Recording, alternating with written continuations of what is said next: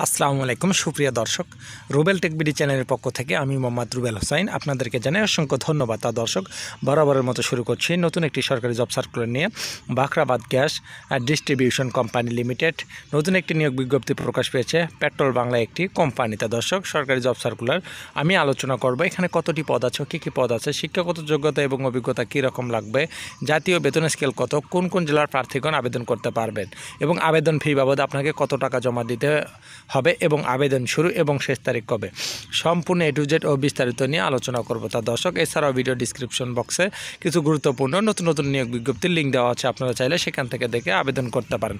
তা দর্শক, আপনি যদি আমার চ্যানেলের নতুন দর্শক হয়ে থাকেন, অবশ্যই নিচে থেকে চ্যানেলটি সাবস্ক্রাইব করে পাশে থাকা বেল বাটনটি বাজিয়ে দেবেন। কারণ পরবর্তী নতুন নতুন সরকারি এবং বেসরকারি জব সার্কুলারগুলো সবার আগে পেয়ে যাবেন। তা দর্শক, শুরু করছি, সাথেই থাকবেন। তা দর্শক, এখন আলোচনা করব এক নম্বর অপশনে সহকারী প্রকৌশল, সহকারী ব্যবস্থাপক। কারিগরি। এ পদে লোক সংখ্যা নেওয়া হবে বাইশ জন। আপনার বেতন স্কেল দেওয়া আছে বাইশ হাজার টাকা থেকে আপনার তেপ্পান্ন হাজার ষাট টাকা।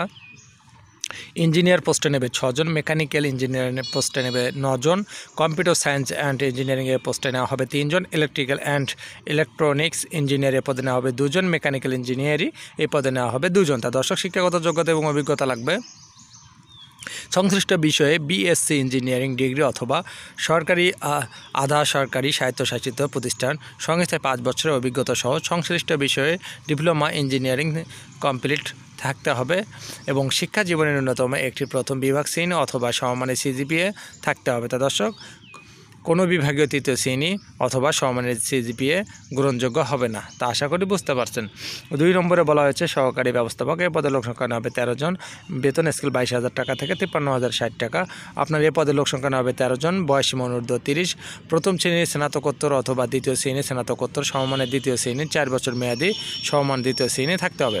এছাড়াও শিক্ষা জীবনের ন্যূনতম একটি প্রথম বিভাগ শ্রেণি অথবা সমমানের সিজিপিএ থাকতে হবে। তা দর্শক কোনো পরীক্ষা তৃতীয় শ্রেণি অথবা সমমানের সিজিপিএ গ্রহণযোগ্য হবে না আশা করি বুঝতে পারছেন। তিন নম্বরে বলা হয়েছে সহকারী ব্যবস্থাপক হিসাব রক্ষক এ পদে তার দর্শক ভিডিওটি ভালো লাগলে চ্যানেলটি সাবস্ক্রাইব করে পাশে থাকা বেল বাটনটি অন করে দিবেন এবং অবশ্যই একটা লাইক দিবেন এবং কমেন্ট করতে ভুলবেন না। ডিসক্রিপশন বক্সে কিছু নতুন নতুন নিয়োগ বিজ্ঞপ্তির লিঙ্ক দেওয়া আছে আপনারা চাইলে সেখান থেকে দেখে আবেদন করতে পারবেন। পদে নেওয়া হবে। চোদ্দ জন বেতন স্কেল বাইশ হাজার টাকা থেকে তিপ্পান্ন হাজার ষাট টাকা। বয়সীমা অনূর্ধ্ব তিরিশ বছর লাগবে। বাণিজ্য বিষয়ে প্রথম শ্রেণীতে স্নাতকোত্তর অথবা সংশ্লিষ্ট বিষয়ে দ্বিতীয় শ্রেণি স্নাতকোত্তর। সম্মান দ্বিতীয় শ্রেণি, সি এ ন্যূনতম নলেজ লেভেল আইসিএম প্রফেশনাল এবং লেভেল এম বি এ সংশ্লিষ্ট বিষয় চার বছর মেয়াদি সম্মান এবং দ্বিতীয় শ্রেণি হতে হবে। শিক্ষা জীবনের ন্যূনতম একটি প্রথম বিভাগ, শ্রেণি অথবা সমানের সিজিপিএ বা জিপিএ থাকতে হবে। তা দর্শক আশা করি বুঝতে পারছেন। চার নম্বরে বলা হয়েছে উপসহকারী প্রকৌশল এ পদে লোক সংখ্যা নেওয়া হবে চারজন, সিভিল ইঞ্জিনিয়ারিং একজন, মেকানিক্যাল ইঞ্জিনিয়ারিং একজন, কম্পিউটার ইঞ্জিনিয়ারিং একজন, অটোমোবাইল ইঞ্জিনিয়ারিং একজন। তা দর্শক বেতন স্কেল ষোলো হাজার টাকা থেকে আটত্রিশ হাজার ছয়শত চল্লিশ টাকা। শিক্ষাগত যোগ্যতা লাগবে সরকারি অনুমোদিত শিক্ষা প্রতিষ্ঠান হতে ডিপ্লোমা ইঞ্জিনিয়ারিং কমপ্লিট থাকতে হবে। এছাড়া শিক্ষা জীবনের ন্যূনতম একটি প্রথম বিভাগ শ্রেণি অথবা সমমানের সিজিপিএ থাকতে হবে। তা দর্শক আশা করি বুঝতে পারছেন। পাঁচ নম্বরে সহকারী কর্মকর্তা কারিগর, এ পদে লোক সংখ্যা নেওয়া হবে তিনজন বেতন স্কেল ষোলো হাজার টাকা থেকে আটত্রিশ হাজার ছয়শত চল্লিশ টাকা। শিক্ষাগত যোগ্যতা লাগবে বিএসসি ডিগ্রি। শিক্ষা জীবনের ন্যূনতম একটি প্রথম শ্রেণি, বিভাগ অথবা সমমানের জিপিএস সিজিপিএ থাকতে হবে। তো দর্শক, ছয় নম্বরে বলা হয়েছে, সহকারী কর্মকর্তা পদে লোক সংখ্যা হবে আটজন বেতন স্কেল দেওয়া হচ্ছে ষোলো হাজার টাকা থেকে আটত্রিশ হাজার ছয়শত চল্লিশ টাকা। বয়সীমা অনূর্ধ্ব তিরিশ। শিক্ষাগত যোগ্যতা লাগবে স্নাতকোত্তর চার বছর মেয়াদী, সম্মান দ্বিতীয় শ্রেণি অথবা সরকারি আধা সরকারি স্বায়ত্তশাসিত প্রতিষ্ঠান, সংস্থার প্রশাসনিক ক্ষেত্রে তিন বছরের অভিজ্ঞতা সম্মত স্নাতক ডিগ্রি থাকতে হবে। তা দর্শক, শিক্ষা জীবনের ন্যূনতম একটি প্রথম বিভাগ, শ্রেণি অথবা সমমানের জিপিএস, সিজিপিএ থাকতে হবে। তা দর্শক, আশা করি বুঝতে পারছেন। সাত নম্বরে বলা হয়েছে, সহকারী কর্মকর্তা এই পদে লোক সংখ্যা নেওয়া হবে একজন। আপনার বেতন স্কেল আটত্রিশ হাজার ছয়শত চল্লিশ টাকা। শিক্ষাগত যোগ্যতা লাগবে, বাণিজ্য বিষয়ে স্নাতকোত্তর, সংশ্লিষ্ট বিষয়ে চার বছর মেয়াদী সম্মান দ্বিতীয় শ্রেণি অথবা সরকারি আধা, সরকারি স্বায়ত্তশাসিত প্রতিষ্ঠান, সংস্থায় সংশ্লিষ্ট ক্ষেত্রে তিন বছরের অভিজ্ঞতা সম থাকতে হবে। তা দর্শক, আশা করি বুঝতে পারছেন। শিক্ষা জীবনের ন্যূনতম একটি প্রথম শ্রেণি বিভাগ অথবা সমমানের জিপিএস, সিজিপিএ থাকতে হবে।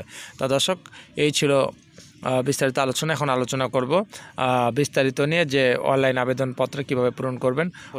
পরীক্ষা অংশগ্রহণের ইচ্ছুক প্রার্থী হটলাইন হচ্ছে BGDCL dot teletalk dot com এই ওয়েবসাইটে প্রবেশ করে আবেদনপত্র পূরণ করতে পারবেন। আবেদনের সময়সীমা নিম্নরূপ।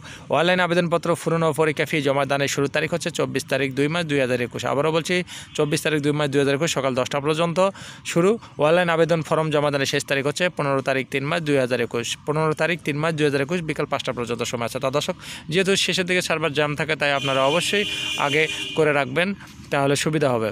তা দর্শক, আপনারা মোবাইল দিয়েই সার্কুলার নিয়োগ বিজ্ঞপ্তি এই আবেদনটি পূরণ করতে পারবেন। আপনারা কম্পিউটারে না করলেও চলবে, নিজে অ্যান্ড্রয়েড সেট দিয়ে করতে পারবেন। সেটি ভিডিও ডিসক্রিপশন বক্সে দেওয়া আছে, কীভাবে মোবাইল দিয়ে করবেন, ছবির সাইজ সহ এবং সিগনেচার কীভাবে তৈরি করতে হবে দেওয়া আছে, আপনারা দেখে নেবেন। তা দর্শক, উক্ত সীমাসীমার মধ্যে ইউজার প্রার্থীগণ অনলাইন আবেদন ফর্ম সাবমিট করে, পরবর্তী বাহাত্তর ঘণ্টার মধ্যে এস এর মাধ্যমে ফি পরীক্ষার ফি জমা দিতে হবে। তা দর্শক আপনার নইলে আবেদন মঞ্জুর করা হবে না। অনলাইন আবেদনপত্র বা অনলাইন আবেদন ফর্মে প্রার্থীর রঙিন ছবির দৈর্ঘ্য তিনশো গুণন তিনশো পিক্সেল স্বাক্ষর তিনশো গুণন আশি পিক্সেল স্ক্যান করে নির্ধারিত স্থানে আপলোড করতে হবে। তা দর্শক, আশা করে বুঝতে পারছেন। অনলাইন আবেদন ফর্ম এবং পূরণকৃত যেহেতু পরবর্তী সকল কার্যক্রম ব্যবহৃত হবে, সেহেতু অনলাইন আবেদনপত্র ফর্ম সাবমিট করে পূর্বে পূরণকৃত সকল তথ্য সঠিকভাবে সম্পর্কে প্রার্থীর নিজ শতভাগ নিশ্চিত হবেন। তা দর্শক, কীভাবে এস এম এস পাঠাবেন এখন সেটি নিয়ে আলোচনা করব। এস এম এস প্রেরণের নিয়মাবলী। আপনার অনলাইন আবেদন ফর্ম, অ্যাপ্লিকেশন ফর্ম যথাযথভাবে পূরণ করে নির্দেশনা মোতাবেক ছবি, স্বাক্ষর আপলোড করে আবেদন ফর্ম সাবমিট করা সম্পূর্ণ হয়ে গেলে কম্পিউটার ছবি সহ অ্যাপ্লিকেশন প্রিভিউ দেখা যাবে। নির্ভুলভাবে আবেদন ফর্ম সাবমিট করা সম্পূর্ণ হলে প্রার্থী একটি ইউজার আইডি ছবি এবং স্বাক্ষরযুক্ত একটি অ্যাপ্লিকেন্স কপি পাবেন। প্রার্থী উক্ত অ্যাপ্লিকেন্স কপিতে ডাউনলোড পূর্বক রঙিন প্রিন্ট করে সংরক্ষণ করবেন। অ্যাপ্লিকেন্স কপিতে একটি ইউজার আইডি নম্বর দেওয়া থাকবে। ইউজার আইডি ব্যবহার করে প্রার্থী নিম্নোক্ত পদ্ধতিতে যে কোনো টেলিটক প্রিপেড মোবাইলের মাধ্যমে দুটি এস এম এস করে ফি বাবদে ছয়শো বাহাত্তর টাকা টেলিটকের সার্ভিস চার্জ অফরযোগ্য অফরযোগ্য অনধিক বাহাত্তর ঘণ্টার মধ্যে পাঠাতে হবে তা দর্শক, আশা করি বুঝতে পারছেন। প্রথমে মোবাইল অপশনে গিয়ে এস এম এস অপশনে গিয়ে বিজিডিসিএল লিখে স্পেস দিয়ে ইউজার আইডি লিখে সিন করবেন ষোলো ত্রিপল টুতে তা দর্শক, আশা করে বুঝতে পারছেন। তা দর্শক, এছাড়াও তিন নম্বরে বলা হয়েছে, লিখিত মৌখিক পরীক্ষার নোটিশ প্রার্থীর মোবাইল এস এম এর মাধ্যমে অথবা ডিজিসিএল ওয়েবসাইটে আপনার এর মাধ্যমে জানানো হবে। তা দর্শক শ্রোতা, এছাড়াও আপনার হচ্ছে শিক্ষাগত যোগ্যতার সকল সনদপত্র মূল কপি এবং ফটোকপি লাগবে এবং তার সত্যায়িত প্রথম শ্রেণি গেজেটের দ্বারা সত্যায়িত করে নিতে হবে এবং আপনার চারিত্রিক সনদপত্র এবং আপনার রঙিন ছবি এবং হচ্ছে আপনার এ টু যেটা কাগজপত্রে ফটোকপি করে কাছে রাখতে হবে পরীক্ষার সময় এবং ভাইবার সময় সব কিছু লাগবে। তা দর্শক, এই ছিল বিস্তারিত আলোচনা। ভিডিওটি ভালো লাগলে অবশ্যই চ্যানেলটি সাবস্ক্রাইব করে পাশে থাকা বেল বাটনটি অন করে দেবেন কারণ পরবর্তী নতুন নতুন সরকারি এবং বেসরকারি জব সার্কুলারগুলো সবার আগে পাওয়ার জন্য। এছাড়াও দর্শক, অবশ্যই একটা লাইক দিবেন এবং কমেন্ট করতে ভুলবেন না এবং অবশ্যই শেয়ার করবেন। আপনার শেয়ারের মাধ্যমে কোনো ভাই বা বোন নিয়োগ বিজ্ঞপ্তিটি দেখে আবেদন করতে পারে। তা দর্শক, আজ এ পর্যন্তই। আবারও দেখা হচ্ছে কোনো একটি সরকারি এবং বেসরকারি জব সার্কুলার নিয়ে। ততক্ষণ অপেক্ষা করুন। আল্লাহ হাফেজ।